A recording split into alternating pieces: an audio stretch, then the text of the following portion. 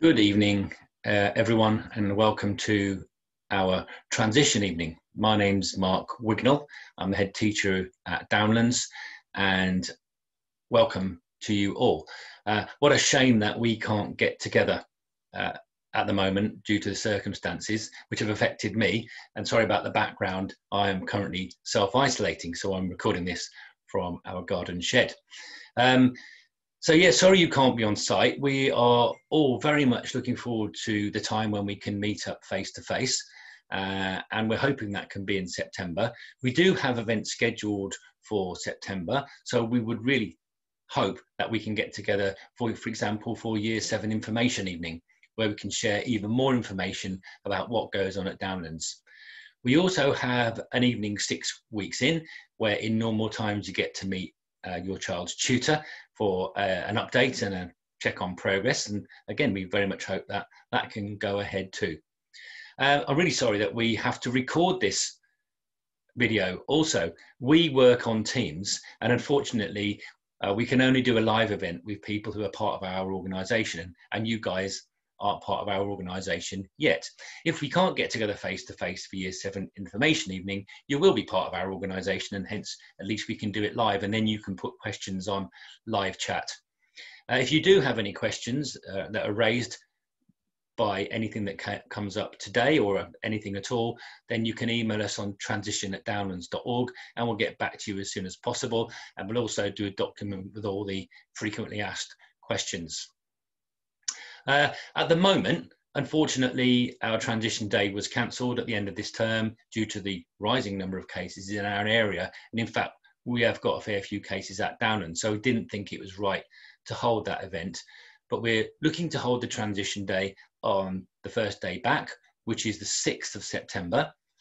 And that'll be a day when only year seven and 11 are in the school and we can show the youngsters around the school, show them the ropes, talk about what we do at Downlands uh, and again, that is dependent on one or two things. And one, and one really important thing is mass testing. So we, we know that we have to carry out mass testing. We've been given that information by the government. We don't know the details yet. And we're trying to work out ways that we can get everyone tested before they come back on site and that we could then carry on with transition day on that Monday, the 6th of September. We're really proud of transition at Downlands. We've got a wonderful uh, environment in which to do it, which is at the back of the school and includes the open air amphitheatre and the uh, artificial pitch at break times. And we're also in the process of constructing a canopy over the back of the sports hall near the amphitheatre where we can serve food to the year sevens. Uh, and they stay in that area uh, until they feel confident to move out of it. Um, there'll be much more information about what we do about transition coming up when we have talk from my colleagues. So first talk will be from Mr. Davis, and he's head of curriculum. He's a deputy head. He'll talk to you about how our curriculum structures work. Then Mr. Odlin, who heads up our pastoral teams, and then from Mr. Stokes, who will be the new head of year seven. And as I said, we are really looking forward to meeting you guys at some point, and also really looking forward to meeting your youngsters. Uh, we missed you at Open Evening, we've missed you this summer, and will ultimately will be catching up at some point, which we're really looking forward to. Your primary schools have said what a wonderful bunch of students we're getting. And things are changing for us as we move forward. We know, for example, there will be no bubbles as we come back next term, and that's good because we can offer our full Downlands curriculum. And we're looking forward to being able to offer the full Downlands um, offer in terms of what goes on with our extracurricular clubs.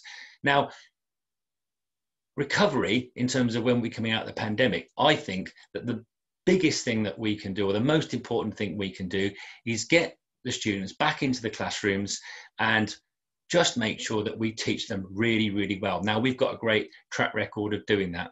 So, standards in classrooms at Downlands are, are very strong, hence the great academic outcomes. But we also have fantastic support for students you know, who, who need it, whoever needs it great a great deal of support. And we also are putting in place some wonderful catch-up programs. So if there is anyone who's got behind over the course of the pandemic we've got some great plans in place so they can catch up. But i referred to extracurricular. One of our big big priorities is what we call character education as we move forward. So we're actually increasing capacity within the school in terms of staffing to deliver more and more character education. And it really is, I think, one of the most important ways we're going to come out of the pandemic. And what it is about is giving the students those skills and those experiences that they need a to be really successful learners as they go through their time at downlands. So have they got a growth mindset?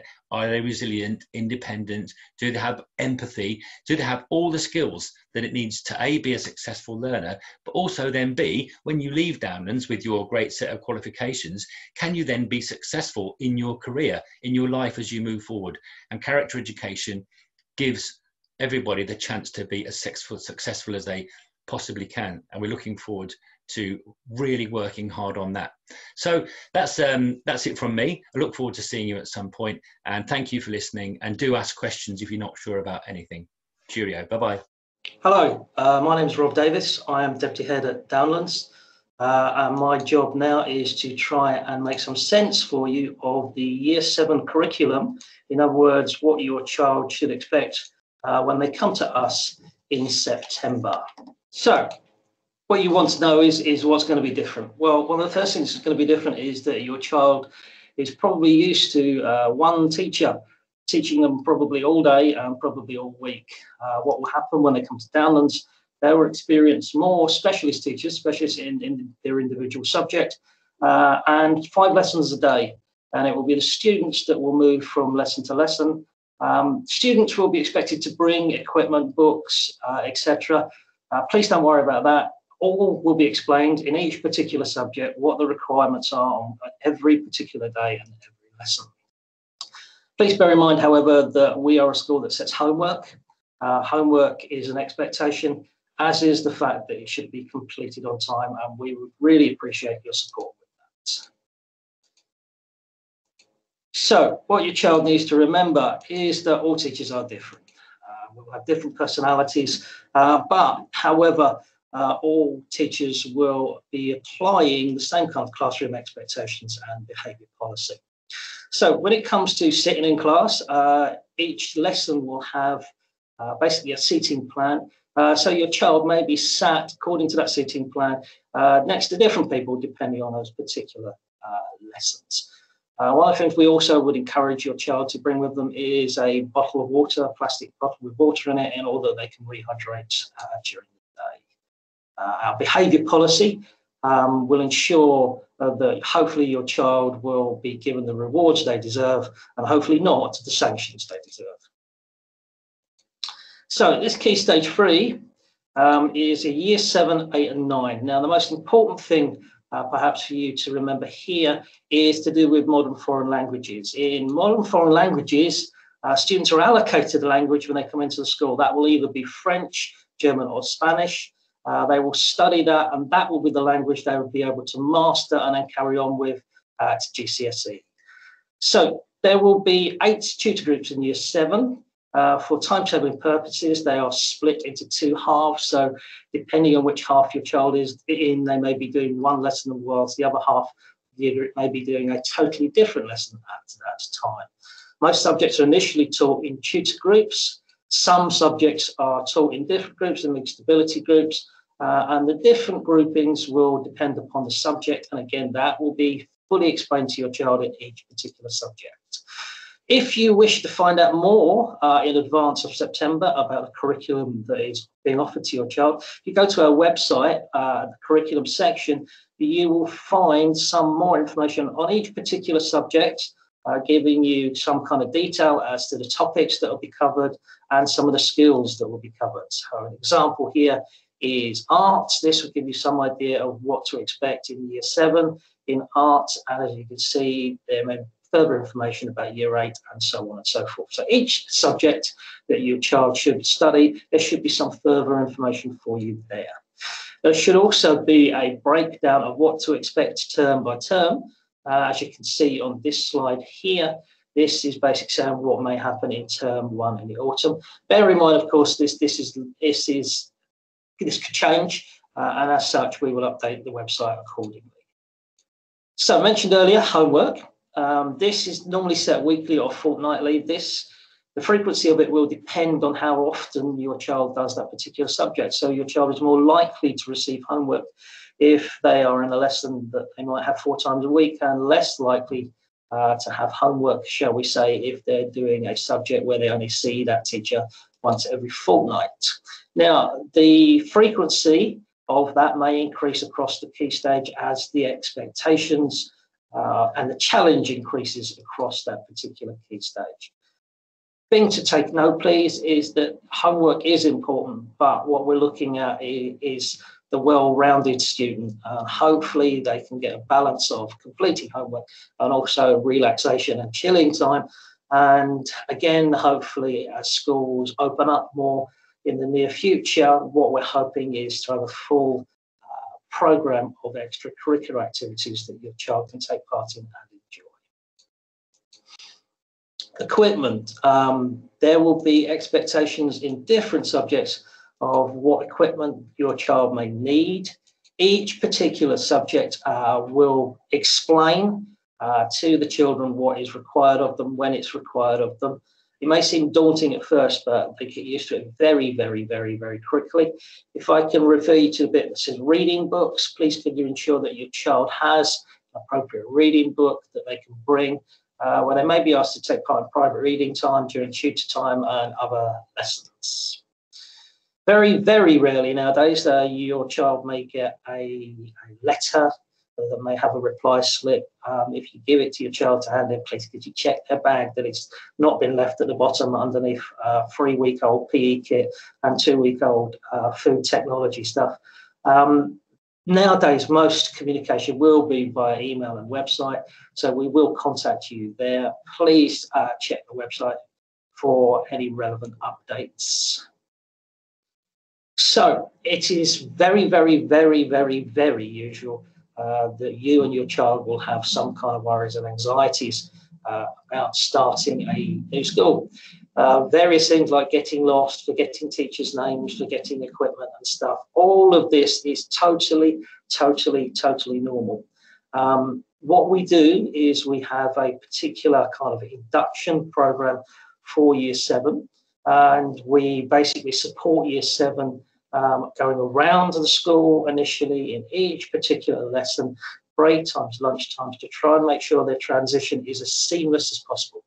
Please understand that your child is a priority to us. They are like the Amazon Prime students in our school. They are our top priority. However, we hope, unlike Amazon Prime, we will not leave your child in a hedge or in somebody else's greenhouse. Um, thank you very much for listening. I really look forward to seeing you hopefully in September. Uh, take care. Bye now. Hello, my name is Graham Ogden. I'm assistant head teacher here at Downlands Community School. I oversee areas of um, support, behaviour, attendance, special educational needs, safeguarding, inclusion. And what I'm going to talk to you about today, briefly, is the structure of that support within the school uh, how we do it, and uh, some of the things that you can expect from us. Um, shame we're not doing it in person uh, because we do get the opportunity to answer some of your questions. We are, however, setting up a frequently asked page. If you send your questions into that email address, which I put on the letter, we will put together that frequently asked questions page, put it back on the website, and hopefully address some of the thoughts you have and the questions you would have asked us. Right, I will now share, go through a short presentation I've put together. Nearly they're off, nearly off your hands, but not completely. Yes, they're coming to big school and they think they are now uh, ready for it. I'm, I'm sure they are, um, but they're not totally off on their own without any stabilizers we have a number of people here, unlike the primary schools, who are a bit more limited in the number of staff that they can employ in different roles. Secondary schools have bigger support structure teams. A lot of teaching assistants in primary schools, probably per, per pupil, fewer teaching assistants, but there are lots of other roles that are required at secondary schools. So down there, you can see the form tutor, very important person. I'll speak a little bit more about that in a moment although Mr. Stokes will say some more. Pastoral sport officer each year group, head of year, and then we have other people. Um, pupil premium support officer, uh, so helping out some of those additional needs, learning mentors for uh, the year groups that help with um, coursework organisation and some structure for those who are struggling to do that sort of thing, as well as a bit of catch up for those as well that might have missed things. Um, teaching assistants, I said, core department teaching assistants. These are people specialising in a particular area and they have expertise in that area uh, to help the students uh, there when they're working there. Um, behaviour support officers, uh, many of the children, most of the children at some stage will have aspects they're struggling with. And again, our support officers within the behavioural structure help them see through those things. I am head of safeguarding, what's called the designated safeguarding lead. But as you, I told you, I do other things too. We have got a dedicated person dealing with the safeguard issues that are coming up in day to day.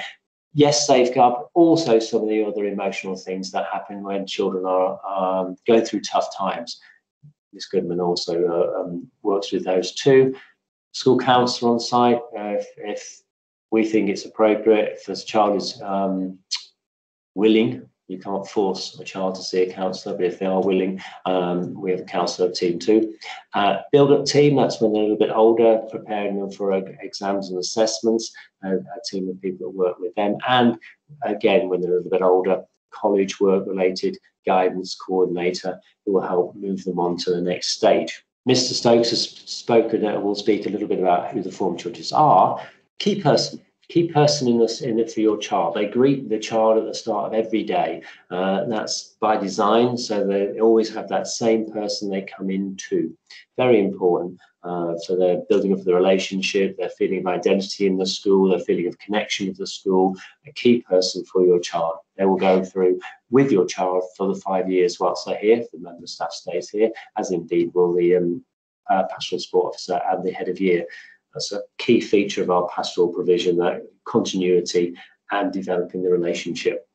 The form tutor in the morning will go through the, obviously registering for the day, day-to-day information, um, uh, general answer, any questions for the young person. Check they've got what they need. You send them out the house, you know, suitably uh, attired with all the equipment.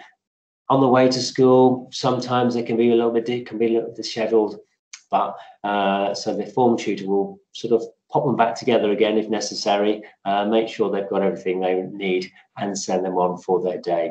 So essentially sort of reaffirm the things and sort out anything that's happened on the way that needs to be done. They also, and as I say, it's very important sense, developing this sense of belonging for your child to know that they belong somewhere in the school. They belong to the school, but there's a special sort of group of people within the school. In many ways, I talk to the form tutors about becoming the, the school parent for the for your child and um, so that doing activities together with the tutor group um, when we have our sports days and things like that they go as a tutor group and its sense of identity within that team. And they as i say they are that familiar face. You will get to meet them hopefully in the um, in our six weeks in um, parents care, um, carers consultation evening. Um, so as i say important person. They then go off and after doing the registration period, they get then go off and teach around the school.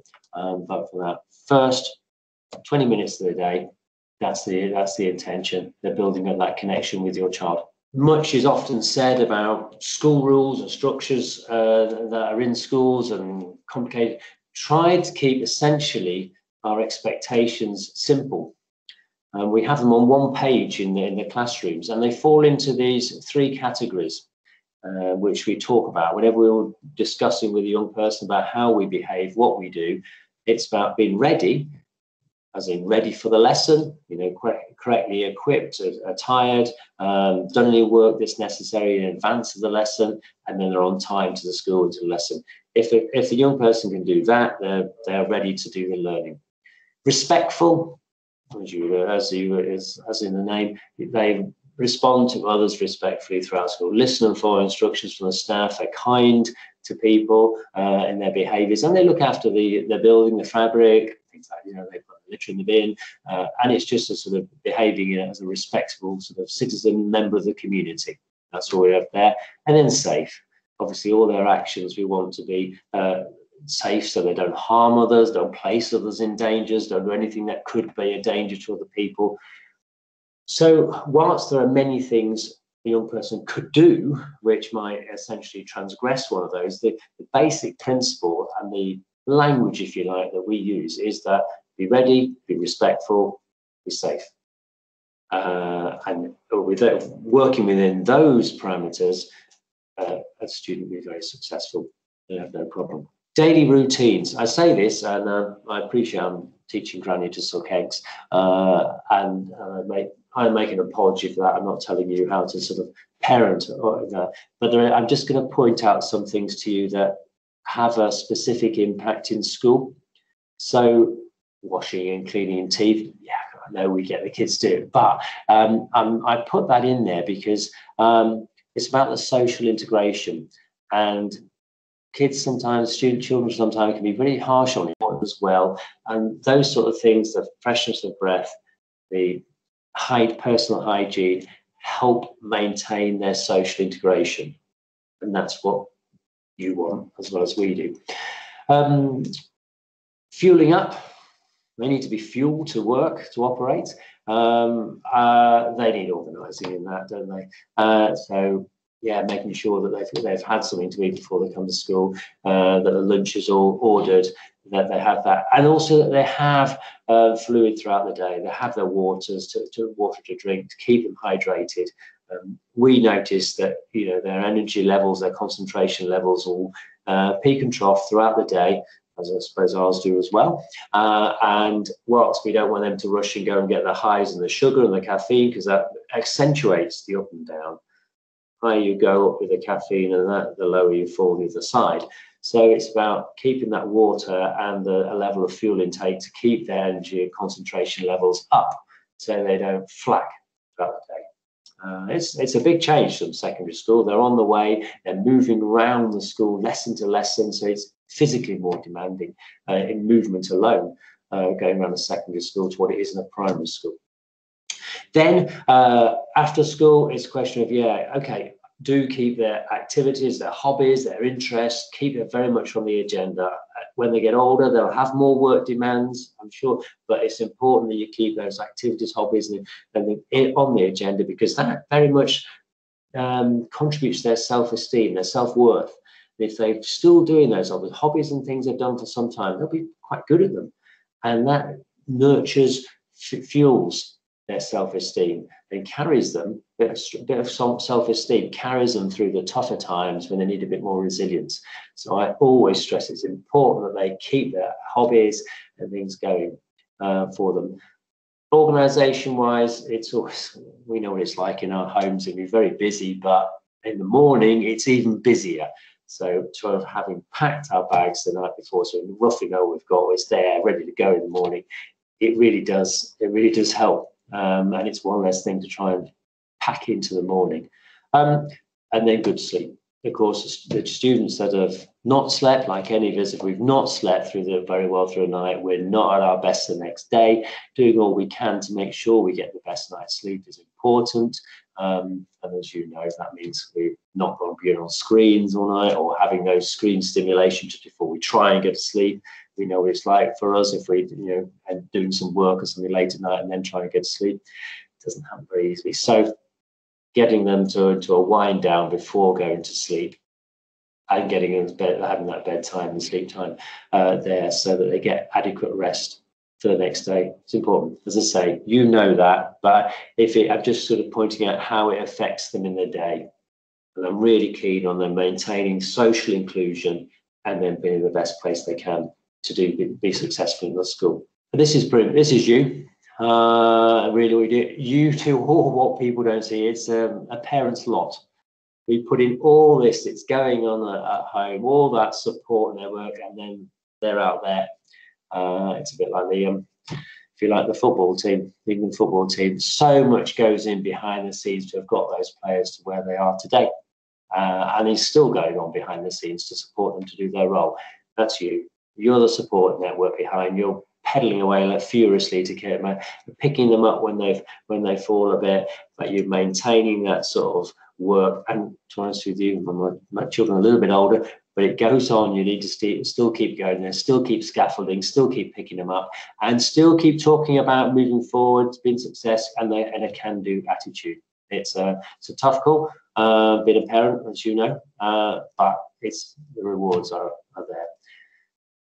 Homework can often be a little bit of a source of um, conflict, quite frankly, in, a, in, in the house. Uh, getting a structure for it will offset a lot of that. If you've got a timetable, a routine where it happens, it's like anywhere else. Once that routine is established, you get less opposition and it happens. Like any of our, we try and have the healthy routines, don't we? Where we're going to do a bit of exercise, or we're going to eat this. If we can get there, if we can really stick to it and embed the routine, then all of a sudden, it, well, all of a sudden, over time, that becomes our modus operandi. So it's happened. So that's what I'm suggesting to you. Yes, there's a step up, possibly from primary school, other homework, but have that routine. The place where they work, how they work, um, and it's and and in it, it's classic. We see it in school. If you say, "Do you understand?" You ask a child, "Do you know what you've got to do?" They say, "Yes." Uh, you understand it? Yes. They don't, or may not. So, uh, smart questions. What do you have to do? How have you done that? Oh, show me that. And then you're actually going to elicit a response that demonstrates whether they do understand, do know what they do. So um, uh, there, uh, we still it's it's hard to forget that sort of thing. But even classroom, have you, have you got it? Yeah, actually, that's they're always going to give that response pretty much. So it's okay, show me.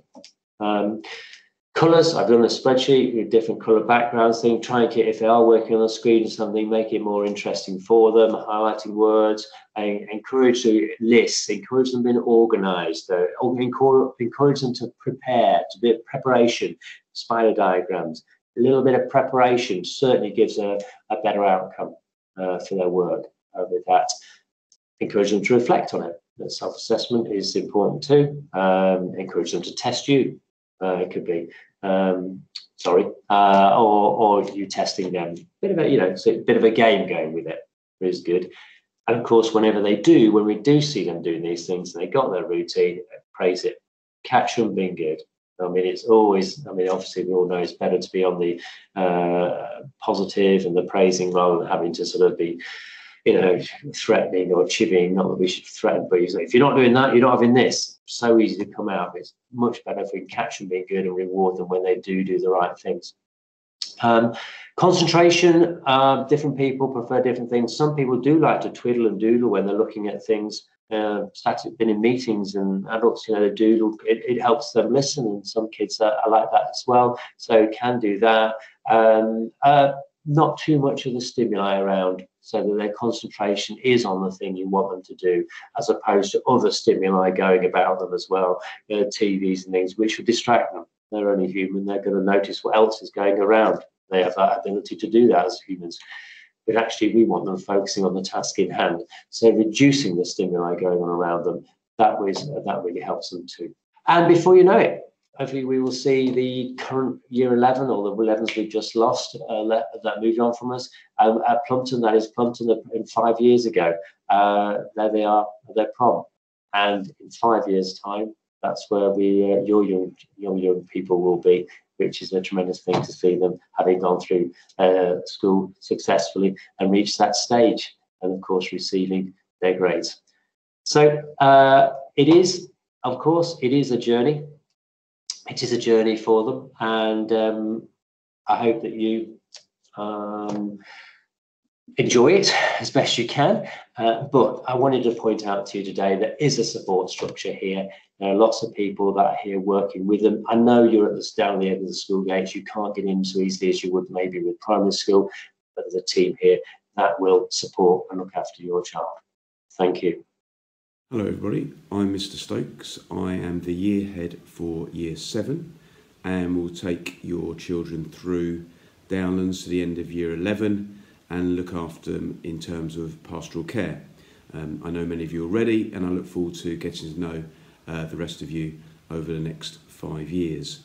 Um, my role uh, only works because of the great team I have around me, um, so I will introduce the people that will be working with the students um, hopefully over the next five years. Um, most important of whom is uh, Mrs. Douala, who is the Pastoral Support Officer for Year 7, um, Mrs. Cobb, who's the Pupil Premium um, Support Officer for year uh, 7, 8, 9, 10 and 11 um, and we'll be um, working with some of the students in the year group um, and of course the tutors. Now we don't know, you won't know the tutor groups yet um, but they're being put together now. Explain a little bit more about that in a moment but the tutors who will be with us um, this year and hopefully into the future. Here's Mr. Uh, uh, it is Miss Bridge, it is Miss Austin, um, it is Mr. Humphrey, it is Miss Ray, it is Miss Groves, um, it is Miss Green and Mrs. Brand who are sharing a tutor group, and it is Miss Bitme. As you'll be aware, Mrs. Dwala and I visited most of our feeder primary schools. Um, it was lovely to meet your children, we had a nice time, they asked us lots of questions, um, mainly to do detentions, but um, I hope that I answered all the questions for them. Um, we couldn't visit every school because um, some children, there's just one coming from that school, about 17 of those schools. Um, but hopefully we've spoken to all the teachers um, by the time you see this, so we'll have details about all the pupils coming to us. And that's how we put our tutor groups together we are reliant on the primary schools to give us information about ability and other things, but also friendship groups, etc. I have to make balanced tutor groups because they'll be working together for the year in most lessons. Um, and so, although we take lots of things into account, um, please be aware it's very difficult making eight tutor groups out of 240 pupils as balanced as possible. Um, so, not all requests um, I can actually adhere to, I'm afraid. But I, I hope that we will have uh, tutor groups completely balanced by the time you get that information at the beginning of September. Unfortunately, the transition days can no longer take place this term because of the COVID number of COVID cases. So we will have a transition day, but it won't be until um, the 6th of September, COVID willing. Um, and that's when all the year sevens will come in and they'll be putting their tutor groups and they have a day getting to know the school. Mrs. Dwala and I do intend to put a video together, however, just doing a tour of the school, which we'll post on the website um, for everyone to see, hopefully by next week, just to give those who haven't visited Downlands an idea of where everything is and just to, you know, to think about over the summer and so it's not completely new to everyone when they come here at the start of the new term. Obviously, it's not ideal not being able to meet and talk to you and um, for you to ask the questions that I'm sure you have. Um, but if you do have any questions about the pastoral care at Downlands, please um, use the um, email address that's been provided and I'll endeavour to answer as many of those questions as possible. So it just uh, leaves me to um, look forward to seeing your children in September um, and meeting you over the course of year seven. Have a lovely summer and take care.